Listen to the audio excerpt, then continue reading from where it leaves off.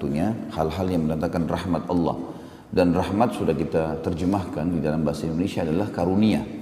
Dan karunia hanya akan e, didapatkan atau diistilahkan, digunakan istilah ini bagi orang yang mendapatkan sesuatu yang di luar jangkauan manusia atau tidak umum.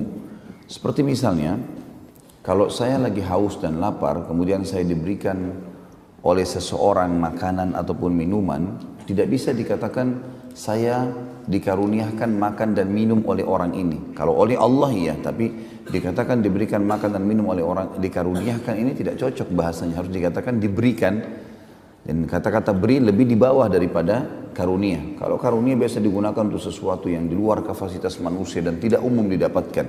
Seperti misalnya dikaruniai anak misalnya atau harta yang melimpah ya. Sesuatu yang di luar jangkauan manusia secara umum. Dan ini yang sedang kita bahas, amalan yang mendatangkan rahmat Allah. Saudaraku seiman, ada sebuah kapal penyelamat. Pada saat kita sedang berada di sebuah lautan yang luas, ombak lagi besar. Biasanya orang dalam kondisi seperti ini akan tenggelam dan akan meninggal dunia. Tapi dia bisa selamat itu dengan adanya kapal dan kapal penyelamat pada saat ombak lagi berkecamuk dan kita tidak memiliki tunggangan sedikit pun atau apa pun di, di atas lautan itu kapal penyelamat itu namanya taubat. Bagaimana tidak teman-teman sekalian? Seseorang di antara kita melakukan dosa bertahun-tahun bergelimang dengan dosa melakukan banyak sekali pelanggaran-pelanggaran bahkan dosa-dosa yang besar sekalipun sampai Fir'aun mengaku sebagai Tuhan ya Orang-orang melakukan dosa-dosa syirik, dosa-dosa yang besar dan bertahun-tahun kalau kita bahasakan sudah berkarat dengan dosa itu, tetap dengan fasilitas taubat ini dia terselamatkan. Dia taubat di akhir hidupnya terselamatkan. Ya. Di zaman Nabi SAW ada orang-orang yang mengaku sebagai Nabi, ada orang yang kufur kepada Allah dan Rasulnya. Tapi di akhir hidupnya bertaubat, masuk Islam. Seperti Ikrimah bin Abi Jahal yang sempat mendukung ayahnya Abu Jahal dalam kekufuran. Kemudian dia taubat nasuha. Dan pada saat dia taubat, akhirnya dia merasakan kenikmatan iman dan dia menghabiskan sisa umur dalam ketaatan. Sampai-sampai karena ikhlasnya taubatnya, dia setiap kali melihat Al-Quran, dia memegang lalu meletakkan di dadanya sambil mengatakan, ini firman Tuhanku yang aku lalaikan. Ini firman Tuhanku yang aku lalaikan sambil dia menangis radhiyallahu anhu. Dan setiap kali dia masuk di kancah peperangan, dia selalu mengatakan kepada teman-teman yang mujahidin, biarkan aku yang di depan sebagai tebusan atas apa yang dulu aku lakukan memusuhi Allah dan Rasulnya dan juga apa yang ayahku lakukan. Sampai beliau terbunuh mati syahid di perang Yarmuk. Ya. Jadi ada orang-orang subhanallah telah melakukan perbuatan-perbuatan yang salah. Tapi Allah subhanahu wa ta'ala memberikan kepada dia solusi, jalan keluar. Bahkan kita tahu sama-sama hadis yang sudah masyhur, Allah gembira dengan taubat hambanya. Allah gembira dengan taubat hambanya. Jadi kalau kita berbuat salah, syaitan sering kali menunggangi keadaan seakan-akan dosa itu sudah terlanjur kita lakukan dan tidak mungkin diampuni oleh Allah. Atau mungkin dia membisikkan mengatakan kan sudah terlanjur kau lakukan, tidak apa-apa ulangi aja. Padahal sebenarnya Orang-orang yang melakukan perbuatan dosa sekali beda hukumannya dengan orang melakukan perbuatan dosa berulang kali. Ingat saudaraku seiman, setiap kali kita berbuat kebaikan, maka balasan yang akan datang dari Allah, dari rahmatnya, itu lebih besar daripada perbuatan kita. Begitu pula dosa-dosa yang kita lakukan, sekecil apa pun, hukumannya lebih berat daripada perbuatan kita. Tidak ada orang yang berzina sejam di hotel lalu Allah hukum penyakit dengan sejam misalnya. Enggak, Allah hukum dengan mungkin lima tahun sakit, mungkin sepuluh tahun sakit. Jadi perbuatannya lebih efek balasnya lebih besar daripada perbuatannya. Dan ingat teman-teman sekalian, kalau ada was-was syaitan yang mengatakan kepada kita bahwasanya kalau berbuat dosa, ya maaf, kalau kalau orang yang berbuat ya berbuat pelanggaran dosa itu sama saja kedudukannya dengan orang-orang yang berbuat pahala. Ya, atau misal was-was yang lain. Misal orang yang ke diskotik sama ke pengajian, sama aja itu. Sama-sama aja kok. Ya. Artinya sama-sama menikmati hidupnya. Enggak, enggak sama. Beda. Beda sekali ini. Nanti kita akan bacakan beberapa ayat yang menjelaskan masa itu perbedaannya jauh sekali gitu. Baik dalam kehidupan mereka ataupun kematian mereka. Dalam hidup dan mati semuanya berbeda. Tidak akan pernah sama orang yang berbuat dosa dengan orang yang berbuat amal soleh. Baik kehidupan ataupun kematian mereka. Dan syaitan sering kali membisikkan kepada kita was-was teman-teman. Was-wasnya begini. Kalau kau menjadi orang alim atau kau menjadi orang baik atau orang soleh dan soleha, berarti hidupmu akan susah. Misal, belum saatnya sekarang alim saya masih muda atau belum saatnya saya menjadi orang yang baik atau soleh dan soleha atau patuh karena nanti susah menikah, nanti susah bekerja, nanti susah dapat bergaul gitu kan. Akhirnya banyak anak-anak muda kita yang menunda taubatnya, menunda kembali ke jalan Allah. Seakan-akan umur-umur dia yang merupakan prestasi terbaiknya. Misal jenjang pendidikan SMP sampai SMA. Ini biasanya di Indonesia dipakai untuk hal-hal yang haram. Padahal ini pondasi bagaimana dia mengatur hidupnya ke depan. Rusak di sini, rusak di sana gitu. Kalau di umur-umur ini yang dianggap dengan masa puberitas awal, kita lihat sinetron-sinetron film segala macam Indonesia, gambarannya umur ini saatnya puas-puasin berbuat dosa. Ya, saatnya berzina, saatnya coba-coba obat-obatan, saatnya begini, saatnya tawuran, saatnya segala macam. Masih muda. Kadang-kadang bahkan orang tuanya mengatakan, oh enggak apa-apa, dulu ayah juga dan ibu itu masih muda seperti kamu. Ya, kan gitu. Ini bahaya sekali. Ya. Justru pada saat umur-umur ini, prestasi terbaik. Kalau di umur ini masuk ke pesantren, belajar Al-Quran, belajar hadis, di sini terbentuk pribadinya. Kalau di umur ini tidak berzina teman-teman sekalian, tidak akan zina sampai dia mati. Tapi di sini dia buka pintu zina, dia zina nanti ke depannya gitu ya. Di sini dia buat ketaatan hafal Quran, dia akan hafal Quran, dia akan jaga sampai dia meninggal dunia. Kita bisa renungi tentunya beberapa ayat Al-Quran yang menjelaskan kepada kita tentang apa yang saya sampaikan tadi dan kita bisa lihat Bagaimana Allah Azza wa Jal dengan sangat rinci menjelaskan kepada kita. Yang pertama itu disebutkan dalam surah Sad. Surah nomor 38 ayat 28. Surah Sad, surah nomor 38 ayat 28. Silakan dibuka Qur'annya biar tahu kita tadabburi.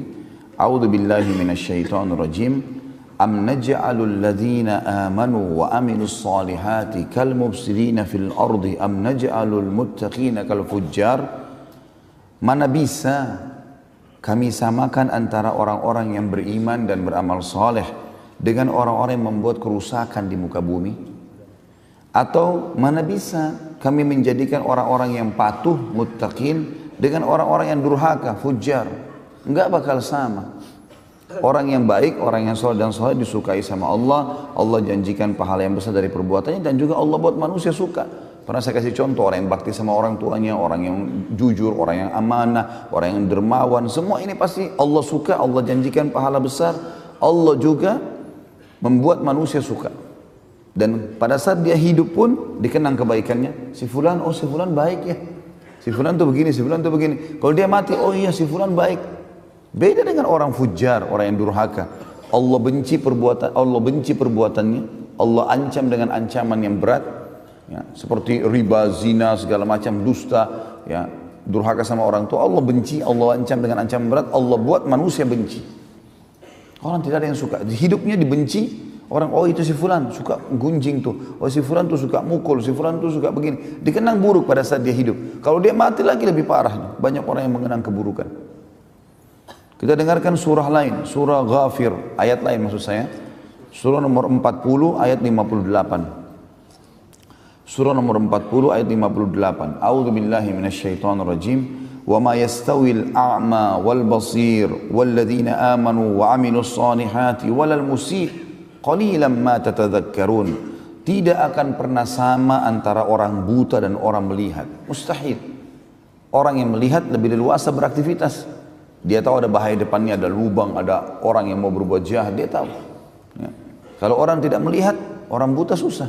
Kata Allah tidak akan pernah sama orang yang buta dengan orang yang melihat. Begitu pula seperti itu perumpamannya tidak akan sama antara orang beriman dan beramal soleh dengan orang yang melakukan pelanggaran. Tapi sayang sangat sedikit kalian berpikir dalam masalah itu.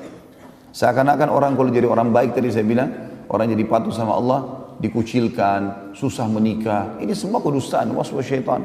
Enggak benar, teman-teman. Di kehidupan mereka, orang-orang yang beriman pasti bahagia, pasti tentram. Was-was syaitan yang mengatakan kita kalau jadi orang baik itu kemudian jadi tidak enak. Bohong semuanya. Terbukti, terbukti, kehidupan orang-orang saleh sebelum kita, dari nabi-nabi, yang puncaknya nabi-nabi, bahagia mereka. Punya pasangan hidup, punya keturunan, punya kedudukan, namanya dikenang. Dan orang-orang yang mengikuti para nabi-nabi, kalau kita misalnya lingkup Nabi Muhammad alaihi salatu wassalam, dan para sahabatnya, sahabatnya Abu Bakar, Umar, Uthman, Ali, dan sahabat-sahabat yang lain. Bayangkan Khulafaur Rashidin tadinya orang-orang yang tinggal di padang pasir Mekah, nggak ada yang kenang, nggak ada yang tahu nama ini. Orang dulu kan tahunya Persia dan Romawi. Tapi karena kesolehan mereka Allah jadikan mereka raja-raja dunia. Disegani oleh dunia, kemenangan, kebahagiaan. Coba lihat fakta historinya. Itu karena kesolehan mereka. Dan kita lihat sebaliknya teman-teman sekalian. Orang-orang yang durhaka pada Allah seperti Fir'aun yang sampai sekarang buminya masih bisa kelihatan. Ya, kemudian e, Namrud. Ya, kemudian kita bisa lihat juga orang-orang yang e, umumnya yang melakukan pelanggaran seperti kaum-kaum, ya, kaum Thamud, kaumnya Nabi Saleh, kaum Ad, kaumnya Nabi Hud. Ya. Kemudian di, di, di, di sekarang di mana? Di Italia ada kota ditemukan kota Pompei dikatakan. Kota yang tua dan kota itu dekat gunung. Ditemukan ada banyak patung-patung berjatuhan. Mereka pikir patung awalnya. Setelah mereka teliti ternyata itu manusia. Tapi bentuknya seperti patung kayak dikutuk. Mereka pun tidak tahu ceritanya. Saya pernah lihat cuplikannya cuma dikatakan kota ini kemungkinan pernah melanggar Tuhan mereka bahasakan begitu karena dokumenta, dokumentasinya itu adalah orang-orang non muslim yang melakukan, membuatnya. Ini cuma melanggar Tuhan saja kemudian dihukum seperti ini. Entah apa kisah mereka. Tapi kita lihat orang-orang yang durhaka dihukum seperti itu dan orang-orang yang saleh sebagaimana Allah menyebutkan orang-orang yang saleh itu seperti para nabi-nabi dalam surah Al-Anbiya eh maaf, surah Al-An'am Sebabnya para nabi-nabi diberikan kelebihan-kelebihan, kepemimpinan, ya, kedudukan, keturunan, harta, ya. Itu semua karena mereka buat kesolehan. Dan Allah setelah menyebutkan nabi-nabi dalam surah Al-An'am, surah nomor 6 ayat 85, Allah tutup ayatnya mengatakan, A'udzubillahi minasyaitonirrajim, kullum minas salihin. Semua itu kami berikan kepada mereka karena mereka orang-orang yang saleh, orang-orang yang patuh. Ya. Juga Allah Subhanahu wa taala menyebutkan dalam surah Al-Ankabut, surah nomor 29 ayat 4. Surah nomor 29 ayat 4. A'udzu billahi minasyaitonir rajim. Ayat ini sangat tegas menekankan orang-orang yang mengkhayal kalau dia buat dosa tidak dihukum. Ya. Itu mengkhayal namanya. Tidak bakal lepas luput dari azabnya Allah. Al-Ankabut ayat 4. Surah nomor 29. A'udzu billahi minasyaitonir rajim. Am hasibal ladzina ya'maluna as-sayyi'ati an yasbiquna sa'ama yahkumun. Ya. Apakah orang-orang yang berbuat dosa itu mengira mereka luput dari azab kami? Ya. Sungguh buruk apa yang mereka hakimi itu. Perhatikan di sini ayat Allah jelas. Gitu kan. Jadi jangan masuk ke zona itu teman-teman. Tidak usah masuk ke zona pelanggaran. Ini wilayah pelanggaran agama, tidak usah dimasukin. Tidak usah dicoba-coba. Nggak ada istilah coba dosa itu. Ya. Coba aja ini, coba aja khamar supaya kamu tahu rasanya. Nggak usah coba. Tidak ada ruginya kita kalau nggak coba. Kalau kita nggak coba dosa nggak ada ruginya. Nggak coba khamar, nggak coba zin, nggak ada ruginya. Bukan tangan kita putus, mata kita buta, nggak. Sama sekali nggak. Jangan dicoba-coba karena bahaya buat kita. Kalau kita masuk ke sana teman-teman sekalian, ada hukumannya dan efek hukumannya lebih berat daripada perbuatannya. Sementara orang berbuat amal saleh, efek balasnya juga lebih besar. Lebih besar ya. Banyak sekali Allah salihati ulaika lahum maghfiratun wa rizqun karim. Allah pasti akan memberikan balasan orang-orang yang beriman dan beramal soleh mereka akan mendapatkan pengampunan dosa dan rezeki yang melimpah. Surah Fatir surah nomor 35 ayat 7 surah nomor 35 ayat 7 juga Allah berfirman A'udzu billahi minasyaitonir rajim walladzina amanu wa amilus lahum maghfiratun wa ajrun kabir Orang-orang yang beriman dan beramal soleh mereka pasti akan dibersihkan dosa-dosanya dan diberikan pahala yang besar. Surah Muhammad, surah nomor 47 ayat 2. A'udzu billahi minasyaitonir rajim. Solihati wa amanu bima nuzzila ala Muhammadin wa huwal haqqu min rabbihim kaffara anhu sayyiatihim wa aslaha balahum. Siapa pun yang beriman dan beramal soleh lalu beriman kepada apa yang diturunkan kepada Muhammad sallallahu alaihi wasallam maksudnya Al-Qur'an yang benar datang dari Tuhannya maka Allah akan membersihkan dosa-dosa mereka dan memperbaiki keadaan mereka. Surah Fatih surah nomor 48 ayat 29 Surah nomor 48 ayat 29. A'udzu billahi minasyaitonir rajim. Wa'adallahu alladhina amanu wa 'amilus solihati minhum maghfiratun wa ajrun 'azim. Allah menjanjikan dengan janji yang benar orang-orang yang beriman dan beramal saleh pasti Mereka akan dibersihkan dosa-dosanya dan diberikan pahala yang besar atau yang agung ya. Di poin ketiga terakhir dari ini adalah surah At-Taghabun, surah nomor 64 ayat 9. Surah nomor 64 ayat 9. A'udzu billahi minasyaitonir rajim. Wa may yu'min billahi wa ya'mal salihan yukaffir anhu sayi'atihi wa yudkhilhu jannatin tajri min tahtihal anharu. Tajri min jannatin yudkhilhu jannatin tajri min tahtihal anharu khalidina fiha abada. Dzalikal fawzul azim. Orang-orang yang beriman kepada Allah dan beramal saleh pasti Allah akan bersihkan dosa-dosa mereka dan Allah akan masukkan mereka ke dalam surga yang di bawahnya mengalir sungai-sungai mereka kekal di dalamnya selama-lamanya dan itulah kemenangan yang besar. Yang keempat Allah akan berikan kepadanya hidayah. Allah akan berikan petunjuk. Ya, setiap kali dia butuh petunjuk dia butuh dia mentok ke satu titik kemudian dia butuh petunjuk nasihat Allah akan mudahkan. Dalilnya surah Yunus surah nomor 10 ayat 9 surah Yunus surah nomor 10 ayat 9 a'udzu billahi minasyaitonir rajim innal ladzina amanu wa amilus solihati yahdihim rabbuhum biimanihim al ayat Sesungguhnya orang-orang yang beriman dan beramal soleh pasti Allah akan berikan kepada mereka petunjuk selama kehidupan mereka di dunia karena keimanan mereka. Surah At-Talaq masih di poin keempat masalah petunjuk. Surah nomor 65 ayat 11. Allah juga berfirman 65 ayat 11. A'udzu billahi minasyaitonir rajim. Yukhrijal ladzina amanu wa 'amilus solihati minadh dhulumati ila nur al-ayat. Siapa pun yang beriman dan beramal saleh ya, pastilah Allah akan mengeluarkan mereka dari kegelapan kehidupan kepada cahaya yang terang. Yang kelima, Allah akan berkasih sayang dengannya. Dan kita tahu kalau ada orang yang punya kedudukan, punya jab, dia berkasih sayang dengan kita, artinya dia mengatakan kepada kita apa saja kebutuhanmu silakan sampaikan ke saya. Tentu kita akan merasa senang. Apalagi kalau orang ini kaya, orang ini punya kemampuan, orang cerdas, pintar, kita akan sangat senang. Allah menjanjikan sang pencipta masalah itu. Langsung. Syaratnya beriman dan beramal saleh. Jadi orang baik. Ya. Dalam surah Maryam, surah nomor 19 ayat 96, Allah berfirman, Surah nomor 19 ayat 96. A'udzu billahi minasyaitonir rajim. Innal ladzina amanu wa 'amilus solihati sayaj'al lahumur rahmanu wudda. Kalimat wuddanya jadi saksi bahasan. Sesungguhnya orang-orang yang beriman dan beramal soleh pasti zat yang maha penyayang Allah akan berkasih sayang padanya. Wudda ya mengasihi dia.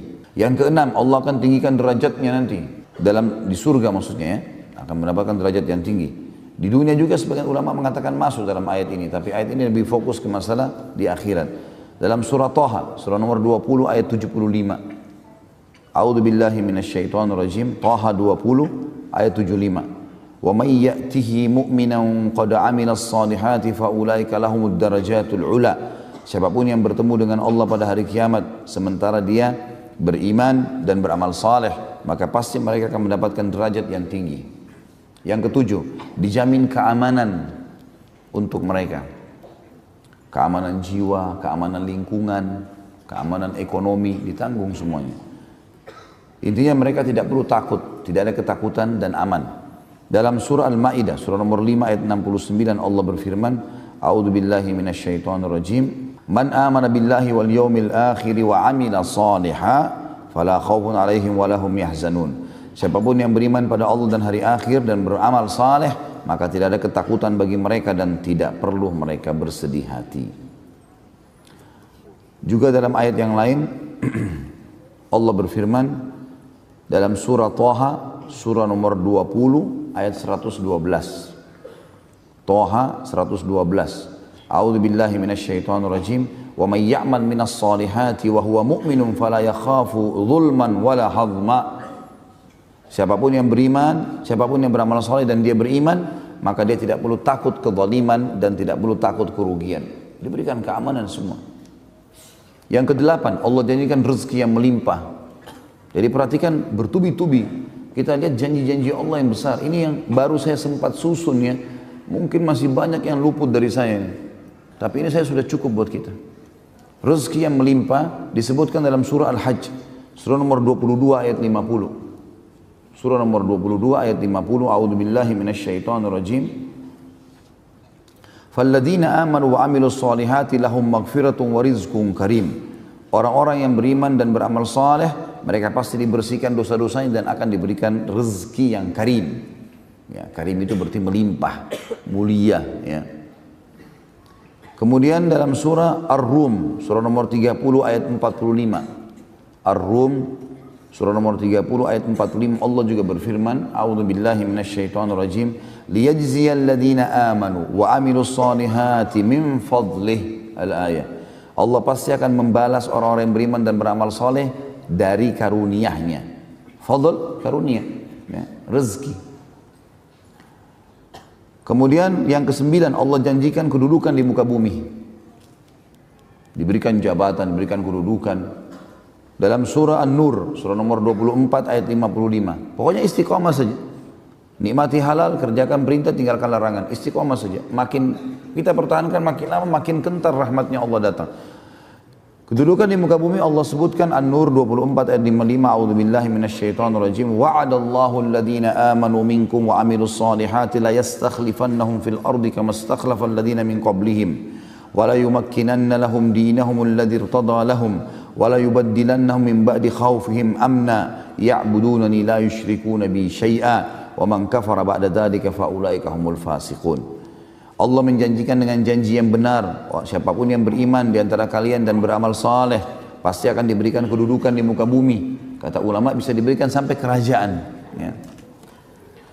Maka Allah akan memberikan kepada mereka kedudukan di muka bumi sebagaimana telah diberikan oleh ke, kepada ya kepada orang-orang soleh sebelum mereka dan pasti Allah akan ya, menetapkan atau memenangkan agama yang telah Allah ridhoi yang mereka pertahankan dan Allah akan ganti ketakutan mereka menjadi keamanan. Syaratnya mereka menyembah dan patuh hanya kepada aku dan tidak menyekutukan aku dengan sesuatu apa pun. Dan siapa yang kufur setelah ini sudah ada penyampaian tapi tidak mau tidak mau juga engah ya, tidak mau juga sadar, maka mereka adalah orang-orang yang fasik. Jadi ini dijanjikan saksi bahasan kita akan diberikan kedudukan di muka bumi. Dalam surah Al-Anbiya, surah nomor 21 ayat 105. Masih di poin 9 diberikan kedudukan. Al-Anbiya 21105. A'udzu billahi minasyaitonir rajim. Annal arda yarithuha ibadiyas salihun. Bumi pasti kami akan wariskan kepada hamba-hamba kami yang saleh. Jadi was-was syaitan saja itu yang mengatakan kepada kita kalau jadi orang saleh atau salehah atau anak-anak dari kecil kalau kita buat hafal Quran, ajak ke masjid ini berarti sudah terlalu kolot ini, ya. garis keras lah, apalah segala macam. Ini nggak benar semua. Hah? Oh iya. Dianggap ini ajaran-ajaran yang keras, tidak penting. Ya. Lihat bagaimana Allah janjikan. Yang ke sepuluh Allah janjikan rahmat setelah kedudukan di muka bumi. Rahmat karunia yang sedang kita bahas juga dalam buku kita. Jadi diberikan sesuatu yang di atas kapasitas dia sebagai manusia. Allah sebutkan dalam surah Al-Jathiyah, surah nomor 45 ayat 30. A'udzu billahi minasyaitonir rajim fa ammal ladzina amanu wa amilus solihati fayudkhiluhum rabbuhum fi rahmati. Al-Jathiyah ayat 30 ya, surah nomor 45. Siapa pun yang beriman dan beramal soleh, maka pasti Tuhan mereka akan memasukkan mereka ke dalam rahmatnya. Pasti. Dijanjikan oleh Allah subhanahu wa ta'ala. Yang ke sebelas, Allah janjikan mereka selamat dari kerugian. Nah, jadi mendapat keuntungan beda. Nah, selamat dari kerugian beda. Nah, gitu. Jadi ini dua hal yang beda. Kalau misalnya orang dagang dapat keuntungan, itu sebuah prestasi. Selamat dari kerugian juga prestasi. Beda ini dua hal yang berbeda. Makanya tadi kita bedain. Selamat dari kerugian ini Allah janjikan surah yang sudah kita hafal semua. Al-Asr, surah nomor 103. Tiga ayat. A'udzubillahi minasyaitonir wal asr demi masa yang kalian lalui di dunia. Innal insana lafi khusr. Manusia pasti melalui kerugian-kerugian. Lalu kata Allah apa? Illa alladhina amanu wa amilus salihat. Kecuali orang-orang yang beriman dan beramal saleh. Wa tawasaw bil haq. Saling mewasiatkanlah kebenaran ini kata Allah. Ingat beramal saleh dan beriman beramal saleh adalah ke, ke, ke, keselamatan, ya keberuntungan. Saling mengingatkan kebaikan ini wa tawasaw bil haq wa tawasaw bis sabr dan saling mewasiatkan agar sabar dalam menjalani kebenaran atau mempertahankan kebenaran. Yang kedua belas, Allah janjikan mereka menjadi generasi terbaik manusia, layak untuk dikenang kisah-kisahnya. Allah akan kekalkan kisah mereka sehingga jadi pelajaran mereka generasi terbaik manusia. Surah Bayyinah dalilnya surah nomor 98 ayat 7. A'udzu billahi minasyaitonir rajim. Illal ladzina amanu wa amilus solihati ulaika hum khairul bariyah. Khairul bariyah generasi terbaik. Orang-orang yang beriman dan beramal soleh pasti mereka akan menjadi generasi terbaik. Kata ulama tafsir akan dikenang kisahnya, akan menjadi contoh bagi manusia yang lain. Kita tahu misalnya Luqman. Luqman bukan seorang nabi, tapi dia seorang yang saleh. Lalu Allah kenang, disebutkan namanya dalam Al-Quran, surah Luqman, karena kesolehannya. Dan terlalu banyak kisah orang-orang saleh yang luar biasa, Allah Allah kekalkan nama-nama mereka. Kemudian ke-13, setelah tadi 12 menjadi generasi terbaik, ke-13 Allah subhanahu wa ta'ala memastikan mereka akan bertemu dengan Allah. Dan bertemu dengan Allah dan mereka kata melihat Allah ini dan masuk dalam surga nantinya. Melihat Allahnya, kita garis bawahi kata-kata bertemu dengan Allah dan melihat Allah di surga. Dalam surah Al-Kahfi surah nomor 18 ayat terakhir, ayat 110. A'udzu billahi minasyaitonir rajim. Faman kana yarju liqa'a rabbih falyamal amalan salihan wa la yusyrik bi ibadati rabbih ahada. Siapa yang ingin bertemu dengan Tuhannya, artinya melihat Allah nanti di surga karena nikmat terbesar surga melihat wajahnya Allah. Maka dia semestinya beramal saleh dan jangan sekutukan Allah dengan sesuatu apa pun. Yang ke-14, orang saleh dan salehah disuruh kita menikah dengan mereka dan disuruh kita menikahkan mereka. Kalau mereka melamar jangan ditolak. Perintah Allah dalam surah An-Nur, surah nomor 24 ayat 32. A'udzu billahi minasyaitonir rajim. Ya. Jadi yang bujang-bujang ini bisa pakai sebagai hujjah ini. Ya. Wa ankihul ayama minkum was-salihin min ibadikum wa imaikum dan menikahlah kalian ya. kalau belum kalau belum belum menikah maka disuruh menikah sama Allah gitu kan orang-orang yang sendiri di antara kalian menikah atau nikahkanlah orang yang masih sendiri di antara kalian dan orang-orang soleh dari hamba-hamba sahaya kalian laki-laki dan perempuan orang soleh jangan ditolak kemudian yang ke-15 Allah menyuruh kita berdoa kepada Allah meminta agar generasi kita menjadi orang soleh kita jadi soleh, generasi kita jadi baik. Itu bagian dari ibadah. Jadi kita mencetak kader manusia ini, itu orang-orang soleh. Allah sebutkan dalam Al-Quran dan jangan luput doa ini dalam setiap hari teman-teman. Baca doa ini. Walaupun belum menikah juga baca. Ya, jadi nanti pun kalau sudah berumah tangga, ini doa sudah berfungsi buat dia. Jangan nanti tiba masa kemudian baru mau berdoa, tidak. Doa-doa yang kita baca akan berfungsi pada saat kita butuhkan.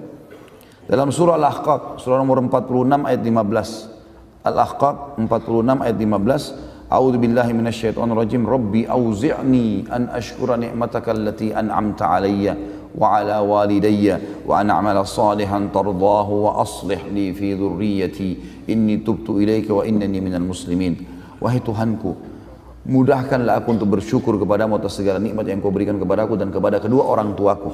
Dan mudahkanlah aku untuk selalu beramal saleh dan wariskan itu kepada keturunanku. Perbaiki keturunanku dengan kesolehan itu. Gitu. Sesungguhnya aku telah taubat kepadamu dan aku sudah menyerahkan diri kepadamu. Juga dalam surah Safat, surah nomor 37 ayat 100. A'udzu billahi minasyaitonir rajim. Rabbi habli minas salihin. Wahai Tuhanku karuniakanlah aku keturunan yang saleh. Yang ke-16, Allah Subhanahu wa taala menjanjikan amal yaitu balasan yang melimpah jadi kalau rutin kita istiqomah dalam mengerjakan ibadah teman-teman sekalian nanti pahalanya dilipat gandakan lagi dibandingkan beda dengan orang yang hanya sesekali mengerjakannya. Saya kasih contoh misal sebelum saya baca ayat-ayatnya. Ada hadis Nabi SAW yang berbunyi siapa yang sudah ya, menjalankan atau dia sudah niatkan, dia sudah rutinkan membaca hizib dari Al-Quran ya, dia baca sebagian ayat Al-Quran yang dia niat dia mau baca di sholat malamnya dan tidak sempat dia baca, Allah akan catatkan baginya pahalanya lengkap. Misal antum sudah niat, nanti malam saya mau baca surah Ar-Rahman dalam sholat malam. Ternyata kita pas bangun sudah menjelang azan subuh, baru sholat dua rakaat. Baru baca mungkin 10 ayat dari Ar-Rahman. Sisanya Allah kasih pahalanya walaupun belum sempat dibaca. Juga ada hadis Nabi SAW yang berbunyi siapa yang melakukan amal soleh di waktu dia senggang di waktu dia senggang jadi artinya sehat kayak kita sekarang masya Allah nggak ada masalah di situ dia beramal soleh gitu kan maka Allah akan catatkan baginya pahalanya di waktu dia sulit jadi misalnya pada saat dia masih sehat dia selalu puasa Senin Kamis Begitu dia sakit dia nggak bisa lagi, tetap pahalanya jalan.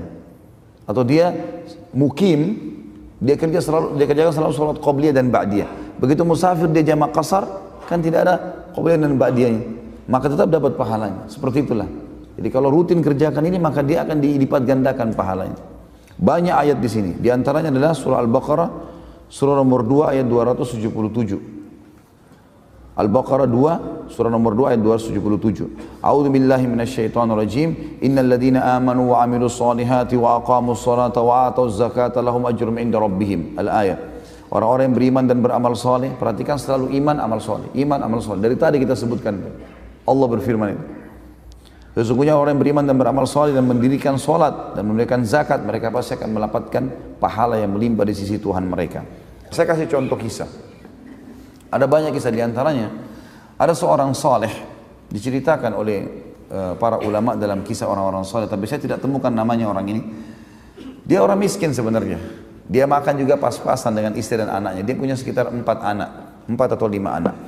Pas dia mau makan malam sama istri dan anak-anaknya, makanan juga pas-pasan, ada orang ketuk pintu rumahnya. Dan orang miskin juga yang ketuk. Ini orang miskin, orang susah. Begitu buka pintu dia minta makanan. Istrinya lihat ke dia, bagaimana? Makanan juga cuma satu piring. Ini pun kalau kita makan nggak cukup. Kalau kita kasih ke orang sebagian, maka sebagian kita makan, sebagian enggak. Udah kasih aja semua kata suami, kasih orang itu, dikasih. Rupanya berjalan waktu di awal malam, kalau kita sekarang jam 12 malam, jam 1 malam, rupanya kelaparan, kena tak makan. Anak-anaknya nangis, istrinya susah, nangis, susah, lapar, sampai pada tingkat kelaparan nih malam itu. Lalu istrinya bilang, bagaimana jalan keluarnya? Kata suaminya, baiklah sebentar. Saya coba keluar. Malam hari. Dia keluar ke mana? Ke masjid. Dia ke mana-mana. Di masjid dekat rumahnya. Soalnya tahu dia sujud kepada Allah. Dan teman-teman sekalian berdoa kepada Allah. Minta pada hal-hal walaupun kecil di mata kita. Dia berdoa mengatakan, Ya Allah, Engkau mengetahui bahwasanya aku kelaparan malam ini dengan istri anakku. Berikanlah aku makan. Minta makan sama Allah. Dikatakan dalam kisah ini teman-teman, seorang raja di negeri itu sudah satu minggu taubat. Dia gelisah dengan dosa-dosanya semua. Satu minggu ini dia gelisah terus taubat. Sampai pada malam itu, si raja ini dikatakan dalam kisah, tidak bisa tidur, dia bangun, dia ambil sekantong uang emasnya, dia ambil juga sekantong makanan yang paling baik yang dia miliki di istananya. Dia keluar, dia bilang, Ya Allah, sebagai tanda tobatku kepadamu, maka aku akan berikan kepada orang yang layak diberikan untuk ini. Dan sebagai bentuk, aku ingin panduan padamu, aku tidak akan pegang tali kekangan kudaku. Maka kudanya pun jalan. Orang raja ini keluar. Tiba-tiba kudanya ini berhenti di masjid yang ada orang tadi itu. Ini kisah nyata. Mampir. Dia pun tidak tahu kenapa. Zaman dulu belum ada lampu. Tidak ada penerangan. Kenapa kok mampir di masjid? Dia bilang saya turun, kata rajanya, saya bawa dua kantong itu, begitu saya masuk, saya dengar suara. Saya dekat orang itu lagi berdoa dan doanya ya Allah, aku lapar dan berikanlah aku makanan untukku dan istri istri dan anak-anakku. Jadi itu terus yang diucapkan sama dia, minta makanan karena ini lagi dibutuhkan. Ya. Dan orang beriman biasanya seperti ini. Mereka selalu memenuhi, meminta hajatnya kepada Allah per item yang dia minta. Dan memang dia tidak buru-buru untuk meminta sesuatu ke depannya. Karena dia pikir dia mau setiap saat berdoa terus. Dengan cerita, selesai salam kata si raja ini, saya raja di wilayah ini dan saya sudah baru saya tobat kepada Allah, saya dengar kau kelaparan, ini saya, harta terbaik saya, ini juga kantong makanan, silakan. Terus rajanya bilang, dan kalau kau satu waktu butuh apa saja, Datang kepada saya. Ini istana saya sudah tahu, datang saja. Saya akan berikan kamu. Apa jawaban orang saleh ini? Kalaupun saya punya hajat, wahai raja, saya tidak akan datang ke istana anda, tapi saya akan datang ke istana Allah di sini. Masjid yang telah mengutus anda datang kepada saya. Ini butuh keyakinan teman-teman sekalian. Ingat, lihat di sekitar kita banyaknya serangga, banyaknya hewan yang Allah berikan makanan. Ini waswas syaitan, harus dilawan. Enggak boleh tidak, dengan penuh keyakinan. Sebagai penutup kisah yang lain ya, kita lihat waktunya. Sebagai penutup teman-teman sekalian ada seorang syekh juga di Saudi cerita. Saya lihat cuplikannya tapi saya nggak lihat, saya nggak tahu orang ini siapa karena saya juga baru lihat wajah beliau. Tapi dia cerita lagi duduk santai di TV Saudi. Ya, kalau salah itu ada cuplikan.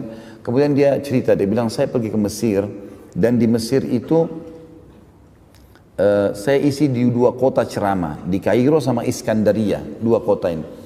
Dia bilang setelah saya isi di kota Kairo, saya ke Iskandaria, kemudian saya balik lagi ke Kairo untuk berangkat. Rencananya saya tiba di Kairo jam 2 malam, jam 2 malam. Pesawat saya habis subuh. Saya telepon marbot masjid, ya yang saya isi ceramah, saya mau saya nggak usah ke hotel, saya nginap di masjid aja dia bilang. Kemudian subuh nanti saya langsung ke bandara. Kemudian dia bilang saya tiba di masjid jam 2 malam. Begitu saya tiba saya lihat uh, pada saat itu masjid lagi lampunya nyala segala macam. Ini kisah baru nih, baru beberapa waktu yang lalu kisahnya. Dia bilang lampu semua nyala, saya masuk saya pikir mungkin marbot masjid nyalain. Ternyata bukan gitu, ternyata bukan. Dia bilang saya lihat ada orang di depan mihrab, di, di mihrab lagi sujud, lagi nangis-nangis sama Allah, lagi berdoa sendirian. Saya pun coba dekat mau dengar doa apa orang ini sampaikan. Dalam doanya dia bilang begini, Ya Allah, sesungguhnya engkau tahu istriku mau dioperasi besok dan dia butuh 14.500 jenih ponnya Mesir. Ya, mungkin mungkin kalau saya tidak salah ini nilainya sekarang rupiah 50-60 juta rupiah. Sekitar begitulah. Dan saya tidak punya uang ya Allah sebagaimana engkau ketahui. Mudahkanlah ya Allah. Sambil orang ini menangis-nangis karena istrinya harus dioperasi besok. Setelah saya salam, kata syekhnya saya datang ke dia. Kenapa akhi? Kenapa sampai begitu? Dia bilang masalahnya berat. Bagi saya berat karena tolok ukur beratnya masalah kan tergantung individu itu. Kita nggak bisa tarik ke diri kita ya. Ada orang mungkin bagi dia lapar sedikit sudah masalah besar. Ada orang mungkin dua tiga hari nggak makan dia masih anggap biasa. Jadi dia masih bisa bersabar. Jadi ini tergantung keadaan. Maka dia bilang saya sudah betul-betul istri saya sakit, saya harus operasi, dia harus operasi, saya tidak punya duit sama sekali. Satu jenis pun, satu pun saya nggak punya. Dia butuh 14.500. Kata saya sambil dia bilang sambil saya tepuk pundaknya, lanjutkan doamu. Allah tidak akan sia-siakan orang yang beriman dan berdoa padanya. Dia bilang orang itu pun lanjutin doanya. Dia bilang saya sholat, dia bilang saya sholat malam, saya sholat witir, lalu saya tidur sambil nunggu subuh beberapa saat. Azan subuh saya dibangun sama masjid. Syekh Syekh bangun sih, bangun. Begitu dia bilang saya bangun, saya sholat sunnah, orang itu sudah nggak ada. Kemudian saya begitu iqamah saya disuruh sama orang Syekh silakan jadi imam. Dia bilang suara saya paruh saya ya semalaman kurang tidur. Dia bilang nggak apa-apa ayat-ayat pendek aja nggak masalah, yang penting antum jadi imam. Baiklah. Dia bilang saya mau jadi imam, saya baca surah-surah pendek. Begitu selesai, tiba-tiba ada orang dari saf tengah datang. Dia bilang Syekh, saya penggemar anda di YouTube. Rupanya Syekh ini punya banyak cuplikan di YouTube. Dia bilang, saya penggemar anda di YouTube. Gitu. Dan saya tadi, saya tinggal di apartemen di sebelahnya masjid ini. Ada apartemen, ini saya tinggal di sini. Saya termasuk pengusahanya Kairo, salah satu pengusaha dia bilang. Dan saya pada saat mau sholat subuh tadi di masjid lain, saya dengar suara anda di mic, maka saya datang ke masjid ini. Dia bilang, Syekh, saya minta satu bantuan. Kata Syekhnya, apa bantuan? Mau bantu apa? Dia bilang, saya ini punya zakat mal, jumlahnya 14.500 jenis. Saya mau keluarkan tolong pandu saya ke siapa? Kata Syekh tiba-tiba saya nangis nih. Karena saya, dia tahu kisahnya. Dia bilang sebentar. Syekhnya bilang saya berdiri cari di saf mana orang yang tadi malam berdoa-doa itu. Jumlahnya sama 14.500. Dia bilang begitu saya di ujung saf saya panggil dia. Begitu dia datang kata Syekhnya, "Akhi, saudaraku, ceritain apa hajatmu." Ini orang ini mau dengar. Dia bilang demi Allah istri saya lagi di rumah sakit, saya butuh bantuan, butuh 14.500 jenis. Tiba-tiba orang kaya itu nangis juga. Jadi syekh sama orang kaya nangis. Orang yang mau minta, mau berapa sumbangan ini bantuan, tidak tahu kenapa dua orang ini nangis. Maka kemudian dia tanya, kenapa kalian nangis? Kata si orang kaya itu, sungguh Allah sudah memandu saya ke kamu. Ini 14.500 jenis zakat saya. Istri saya sudah ingatkan sudah satu minggu. Selalu dia bilang, keluarlah, berikan haknya Allah di jalannya. Jangan ditahan ini. Dan saya selalu bilang, saya tidak mau bagi-bagi harta ini. Saya maunya saya dapat kepada satu orang hamba Allah yang butuh bantuan jumlahnya seperti zakat ini yang dengannya Allah selamatkan saya di akhirat. Maka tiga-tiganya jadi nangis kata Syekh. Ya. Karena terharu lihat kejadian yang luar biasa. Maka si kata Syekhnya orang ini orang yang sedang butuh bantuan ini dia tiba-tiba saja melupakan saya, melupakan orang yang kasih zakat, dia menghadap kiblat lalu dia mengangkat kepalanya ke langit sambil mengatakan, "Aku mencintaimu ya Allah." Cuma tinggal butuh keyakinan. Makanya kata Nabi SAW, Udu rabbakum mukinuna bil ijabah.